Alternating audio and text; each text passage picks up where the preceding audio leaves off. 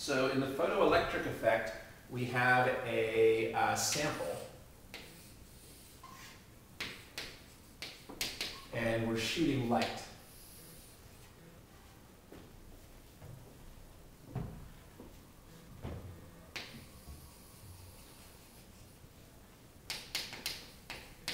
We're shooting light at the sample.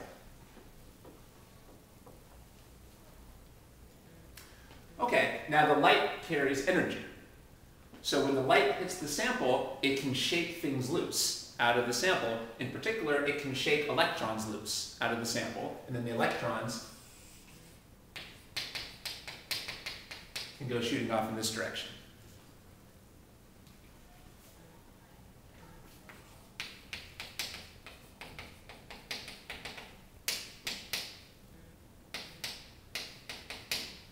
Okay. And maybe it's a good habit to use this squiggle here for the light, and I'll use the solid line for the electrons. One thing that um, is going to come up in a lot of the applications here, we're going to do a lot of applications that have both light and electrons, and it's important not to confuse them. So those are two different things. One big difference is that light doesn't have any mass, whereas electrons have a mass even though it's very small. So they're definitely different things.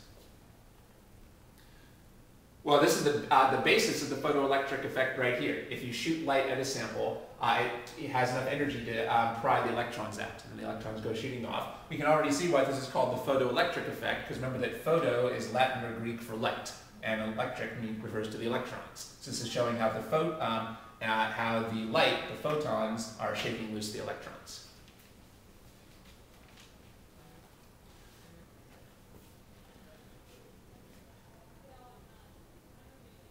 All right, now when the photoelectric effect was first conducted, everyone thought at that time that light was a wave.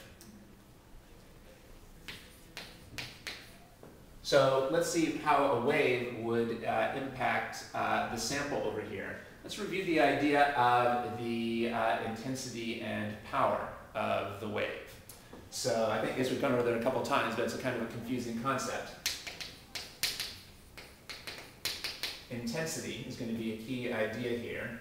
Remember, you can symbolize that with an I or a uh, S. Let's just remind ourselves, do you remember what the units are for intensity? Um, if we know the units, we really know what it's measuring.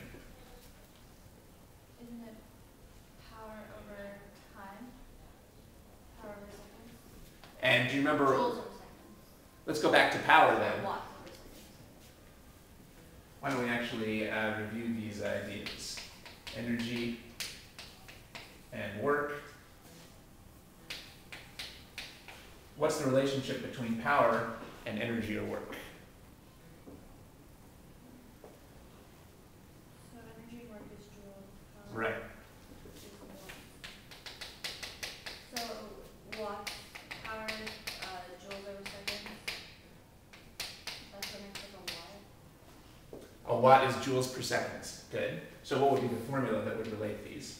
Um, energy over time. So Is the power. I'm going to say the power is the work over the time, but we know that the work tends to tell you the change in energy. So these can kind of be interchangeable in some problems. The power is the work or the energy over the time.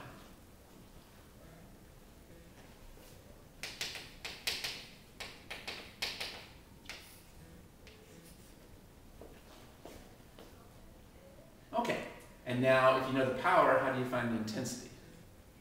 Now what you were thinking was that the intensity was power over time, but we've already taken the count, taken the time into account. What's the thing we haven't taken into account? area.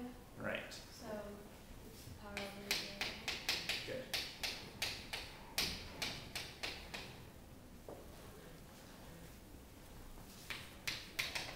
There's no special name for the unit for intensity. What would be the um, units? Watts over meter squared. Watts over, yeah, meters squared. Because that's the unit for area. Okay. Uh, let's break this down a little bit more though. What is a watt? So how, how can we break this down by breaking down a watt? What would this So joules over second. Um, and then times like seconds. If you, because it's joules over seconds over meter squared. Uh, so then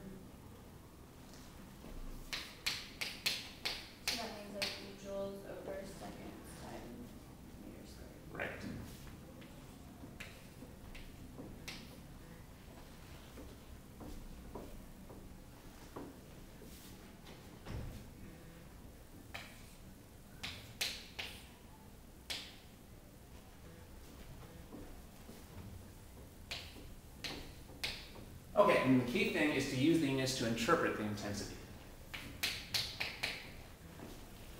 So how would we interpret this intensity? Um, This intensity of light. for, uh, one second, we can cover like one meter squared of area, we'll have eight joules of energy. That's right. Okay, yeah, that's a good interpretation. So as you're recalling, the trick that we've been using is it's useful to have a number in front of every unit. Um, well, what number can we put in front of these units without changing the fraction of the number one? Now, the example we gave before was solar panels. We imagined building a one square meter solar panel and leaving out in the sunlight for one second, and we saw that it would absorb eight joules of energy, which would be enough to do eight joules of work if there was uh, no loss. But now we can start putting this in terms of the photoelectric effect. Suppose that we have um, a one square meter sample. Well, if we have a one square meter sample and we expose it uh, for one second, it should be absorbing eight joules of energy from the light. So that's a very practical interpretation because it seems like, remember, the more energy we're absorbing, the more electrons we should kick off. The whole point of the photoelectric effect is to measure how many electrons is the light able to push off and how energetic will the electrons be. Well, this seems like information that will tell us how many electrons we can kick off and how energetic um, the electrons are going to be. Okay, um, so basically the intensity is a way of telling you how much energy is being delivered per time per area. The intensity is telling you how much, so the intensity is telling you basically how much energy the light is delivering. The intensity is telling you how much energy the light is delivering. But of course, how much energy is being delivered is a function of how much time the light is on and how much area it's illuminating. So the intensity is in terms of the time and the area. Um, I, I guess it's just a historical coincidence that when we're building up these concepts, first we divide the energy by time and when, then we divide by area.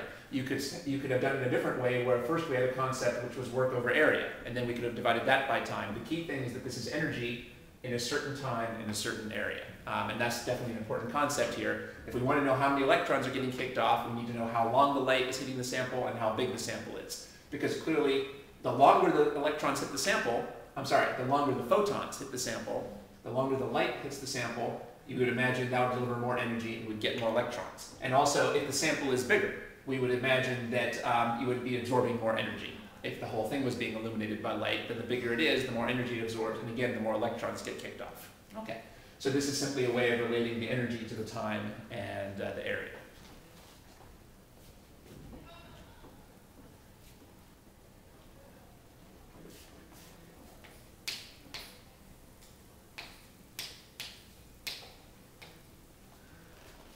So in terms of using the intensity, I think the key thing is just to remember that it's energy over time over area.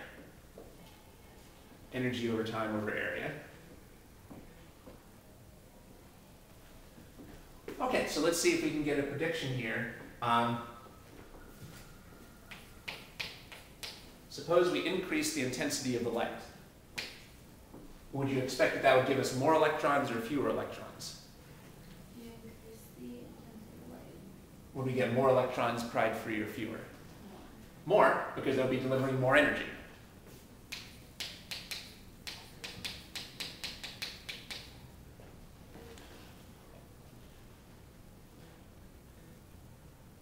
Also, it takes a certain amount of energy to get the electrons off of the sample over here. It takes a certain amount of energy to get the electrons off of the sample. That's what's called the work function. So let's introduce that idea of the work function here.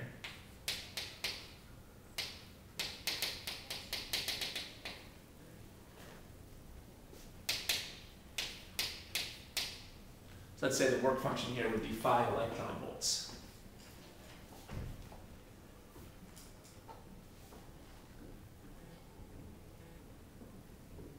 By the way, here's another complication. Um, do you know what concept is measured in electron volts? This is a little tricky. Work and energy. Okay, that's right. But what concept is measured in volts? Um, is,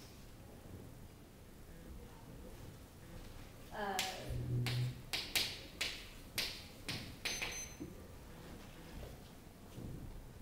So this takes us back to the beginning of the Yeah. Semester. Batteries, so, So the volts would measure the potential or the potential difference. Basically, what you're saying is this is a measure of potential energy. This is a measure of potential energy, but this is a measure of potential.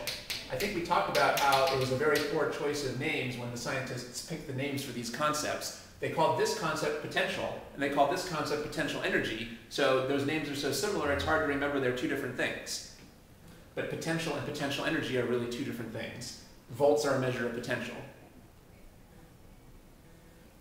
So, um, but notice electron volts are a measure of energy.